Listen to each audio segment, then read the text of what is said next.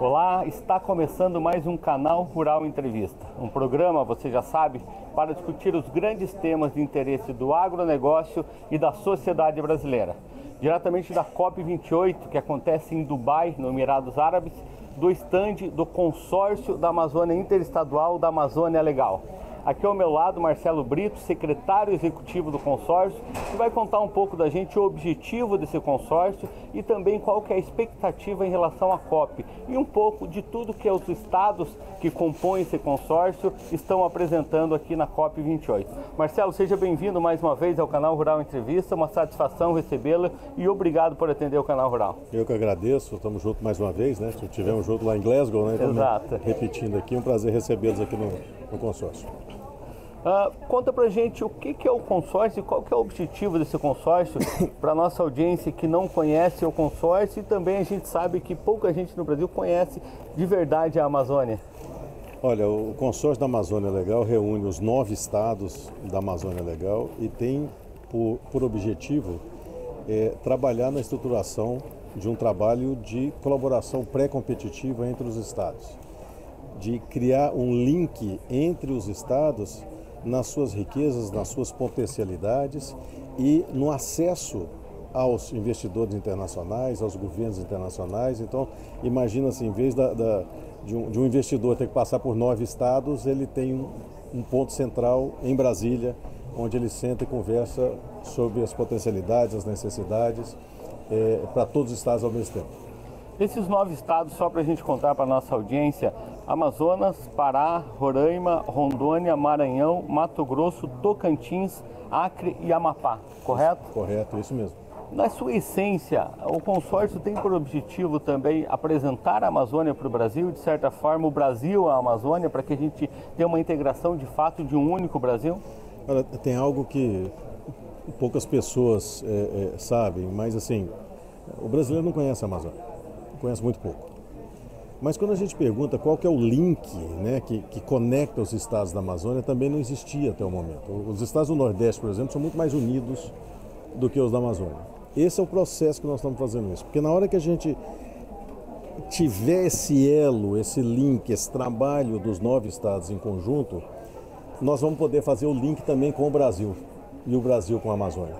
E nós estamos aqui há dois anos da COP do Brasil na COP da Amazônia, que será realizada em Belém do Pará. E terá uma importância global importantíssima. Quando se fala de integração, vem muito à cabeça a questão política, econômica, social e, no caso desses estados, ambiental também. Existe uma pauta comum quando a gente trata desses grandes pilares? Nós temos as câmaras técnicas do meio ambiente, de agricultura, de regularização fundiária, ou seja, uma série de câmaras técnicas que tratam os trabalhos uniformes da Amazônia. Vou te dar um exemplo claro dessa participação. Nesse exato momento que se discute o PL de carbono no Congresso Nacional, o Fórum de Secretários de Meio Ambiente na Amazônia faz o acompanhamento para e passo de tudo que está acontecendo os estados da Amazônia têm uma dificuldade adicional quando a gente fala de Brasil, de produzir e preservar, por conta do Código Florestal. Nós temos que mais que preservar a área do que a área destinada à produção. Como que os estados têm, trabalhando do, têm trabalhado do ponto de vista econômico isso também, né? Porque os estados precisam ter receita, ter arrecadação. Olha, quando a gente olha e projeta a estrutura da nova economia mundial, da economia verde, do processo que está em andamento, a Amazônia tem muito mais a ganhar com a nova economia do que perdeu com a economia antiga. Então, esse é um diálogo que não cola mais. É, as estruturas que estão sendo montadas de pagamento de serviço ambiental, de carbono, se a gente tiver a inteligência política de fazer a construção como ela deve ser, a gente tem muito a ganhar, muito a ganhar. E sem olhar toda essa estruturação é, e, esse, e esse lamento que não vale mais dentro da, da, da economia verde que o mundo está fazendo. Só lembrar o seguinte: a gente entrega o que o cliente quer e nós temos o que o cliente está pedindo. Ok. Uh, a gente pode tratar, e vocês têm tratado a Amazônia como um ativo também de diplomacia, quando a gente vem para negociações onde você precisa de unanimidade, como é o caso da COP28? Então, nunca foi utilizado antes. É um absurdo o Brasil imaginar que a gente não utiliza o principal ativo ambiental nosso nas negociações internacionais, mas agora está sendo utilizado e muito bem utilizado. Tanto que a ida da COP para o Brasil é uma sinalização dessa. Se o mundo quer Amazônia preservada, sequestro de carbono, o Brasil tem para oferecer. E isso tem um custo. E esse custo precisa ser internalizado e precisa ser cobrado. Então eu gosto muito da posição do Brasil nessa COP, que a gente não está aqui para dar desculpa, a gente está aqui para cobrar os investimentos necessários que nós merecemos. Perfeito. Antes da gente terminar o primeiro bloco, gostaria que você explicasse um pouco também para a nossa audiência sobre desmatamento zero e desmatamento ilegal. É muito comum essas, essas duas falas quando a gente fala de Amazônia e de Brasil, lá no Brasil e aqui na, na COP também. Quando a gente fala internamente, tá, a gente está discutindo desmatamento ilegal, que a gente precisa acabar. Isso é um absurdo a gente discutir isso. Tá? Isso é, desmatamento ilegal é a comprovação que nós não gostamos de seguir a lei. Então, é um absurdo o negócio. É absurdo. Então cumpre a lei. Um contrassenso, né? É. Agora, a discussão do desmatamento legal é uma discussão de mercado. Tá? Nós podemos falar, não, o Código Florestal brasileiro permite que a gente desmate. Ótimo. Se o cliente não quiser comprar seu produto, você vai fazer o quê? Você vai obrigá-lo a lá na China a comprar seu produto, ou no Japão, ou nos Estados Unidos? Então aí são duas coisas que a gente precisa tratar é a estruturação de mercado, a estruturação de acesso a mercado dentro das novas condições de comercialização mundial. Nem eles podem impor leis deles aqui, nem nós podemos impor nossa lei lá fora. O que vale é a lei de mercado. E lei de mercado é oferta e procura dentro daquilo que você quer. Perfeito. Marcelo, eu preciso chamar um breve intervalo, mas a gente volta já. E você que nos acompanha, não saia daí, é só um minuto.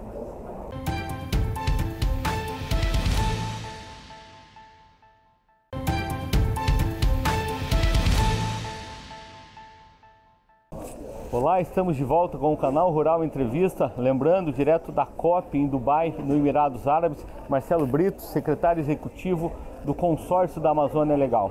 Marcelo, mais uma vez, obrigado aí por estar com a gente aqui e atender o canal Rural. Marcelo, aqui nesse stand, nós estamos nesse espaço do consórcio da Amazônia Legal, muitos debates, discussões, é, agendas, mas também assinados muitos acordos, muitos protocolos que têm um impacto prático no Brasil. Eu queria que você falasse um pouquinho de uma agenda, de um programa de rastreabilidade que foi assinado aqui também. Olha, esse é só um dos exemplos, tá? Nós vamos ter, esse foi um lançamento do Estado do Pará, que fechou um programa para fazer rastreabilidade de toda a cadeia da pecuária até 2026. E é um programa financiado pela Fundação Bezos e pela JBS e do valor de 123 milhões de reais.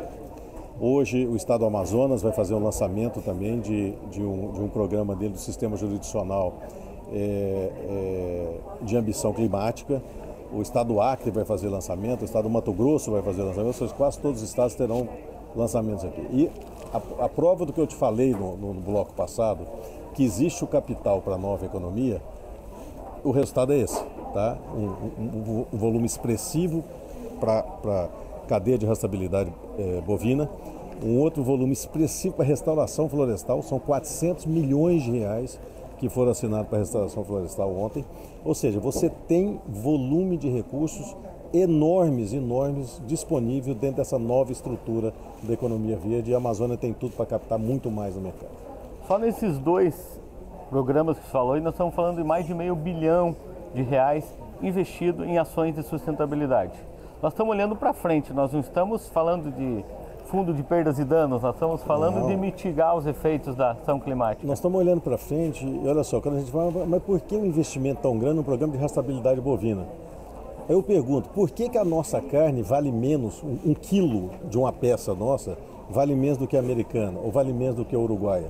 Porque nós não estamos entregando para o mercado o nível de compliance que o mercado pediu. Na hora que a gente tiver com isso tudo pronto, nós temos um ganho monstruoso e esse ganho se reveste em toda a cadeia, do pecuarista até o frigorífico.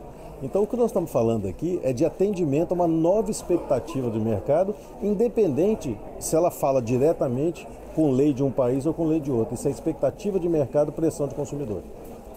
A gente vai falar muito de você adicionar valor a um produto na agroindústria, mas nós estamos falando de gestão, nós estamos falando de sustentabilidade e de protocolos de boas práticas para você agregar valor a essa então, produção brasileira? agregação de valor, a gente tem que tomar um cuidado danado, que a agregação de valor não é aquilo que a gente acha que colocou no produto. É valor adicionado. valor adicionado é aquele que o consumidor entende como valor adicionado. Perfeito. Então, quando você entrega a isso... perspectiva do consumidor. É a perspectiva do consumidor. Aí ele enxerga como valor adicionado e ele dá valor naquilo. E não aquilo que a gente fala, bom, eu vou fazer um trabalho aqui que eu vou agregar valor no meu produto. Você combinou com o seu consumidor? Não, você tem que fazer o que o seu consumidor está esperando. Isso já, é isso já é percebido por essa comunidade internacional, por esse consumidor. Aliás, aliás, eu quero trazer uma outra pergunta aqui também: o consumidor brasileiro e o consumidor internacional. Nós estamos falando também de opinião pública aí. Isso é percebido? Qual que é a diferença que você olha do Brasil e da comunidade internacional? Olha, as diferenças que a gente tem no Brasil são diferenças que a gente encontra de país para país. Nós vamos lembrar que tem metade do nosso país em segurança alimentar. Então você não vai é, é, perguntar para um cidadão que não sabe o que ele vai ter para o jantar se ele está preocupado com a raçabilidade desse produto ou daquele produto. A mesma coisa com o país. Uns exigem mais, outros exigem menos. O mais importante que tem que olhar é quando você estuda as tendências de consumo da geração Z e dos milênios e você estuda essa tendência dessa geração na China, na Europa, nos Estados Unidos, na Ásia, e você vê esse shift, essa mudança do padrão de consumo. E aí que as empresas que saem na frente já estão fazendo as transformações justamente para fazer o encontro do que esse consumidor novo, que essa turma daqui a 10 anos está assinando o cheque do mundo. Perfeito. Tá? Então nós já sabemos o que eles têm em mente. Se a gente for inteligente em produzir o que eles querem, a gente ganha mais mercado. Marcelo, a gente estava falando também da COP30 em 2025 no Brasil. Você trouxe aqui na nossa conversa a Agenda de Paris mais 10. Explica pra gente o que é esse marco que deve acontecer exatamente na COP30 no Brasil, que vai acontecer no Pará. Então, toda COP tem marcos estipulados pela ONU. Tá? Em 2025, encerra a Agenda Paris mais 10, onde todos os países lá atrás apresentaram as suas NDCs, né? E em 2025, todos os países terão que reapresentar suas NDCs, ou seja, a sua agenda de combate a mudanças climáticas, como isso se, se atrela à economia do país. A partir de 2025, nós temos uma nova agenda mundial que é a Amazônia mais 10. Então a importância dessa COP aqui, ela começa agora, primeiro, na estruturação da agenda nesses, nesses dois anos, na estruturação da agenda nesses dois anos, e como essa estruturação passa a valer na próxima década. Ou seja, o que, que o Brasil ganha nisso, o que, que a Amazônia ganha nisso, o que, que o setor privado ganha nisso, como a gente faz a transformação do Brasil aproveitando essas potencialidades que nós temos para entregar para o mundo. E qual que é a expectativa dentro dessa agenda é, Paris mais 10 na Amazônia? O Brasil está preparado, está se preparando para receber o mundo, para ser a vitrine dessa discussão? Olha, lamentavelmente, nós estamos atrasados. Tá? Mercado de carbono roda no mundo já há mais de 15 anos. E nós, infelizmente, ainda não aprovamos uma lei de carbono. Então, nós estamos muito atrasados. Tá? E carbono é um processo temporário. Né? Se o mundo entra em neutralidade, o mercado de carbono acaba. Então, a discussão agora passa a ser outra. É a discussão sobre créditos de biodiversidade. Se carbono é transitório, biodiversidade é perene. E nisso, nós somos imbatíveis. Então nós precisamos cobrar por nossa biodiversidade através desse sistema que começa a ser discutido pela comunidade internacional. Hoje mesmo participei de reuniões de, eh, de, manhã falando sobre isso. Então é um assunto que começa a ganhar mercado, começa a ganhar atração e a gente tem que ser a ponta de lança. O que não pode acontecer é o Brasil ficar fora das mesas de negociações internacionais como ficou. Quando você não participa dessas mesas, você fica fora do assunto e depois você tem que assinar e entrar sem ter participado da negociação. Ou seja, nós temos que participar e estar tá lá dando a nossa opinião e detalhe, sentado na cabeceira da mesa, porque nós temos poder para sentar na cabeceira da mesa. Perfeito. O que, que a COP, o que, que o mundo pode esperar da realização da conferência no Brasil de uma maneira prática e objetiva? Olha, a COP aqui em Dubai é uma COP financeira. Aqui se discute finanças internacionais, finanças climáticas. A COP do Brasil irá discutir natureza, então, a hora na que a gente fala mercado da natureza, aí nós estamos falando de tudo aquilo que está inserido dentro do maior potencial que o Brasil tem: agricultura, energia e floresta. Nós somos imbatíveis nesse processo. Vários governadores do consórcio passaram, estão passando, estão aqui na COP28. Qual é a expectativa do consórcio agora com relação à COP28, a finalização dos acordos?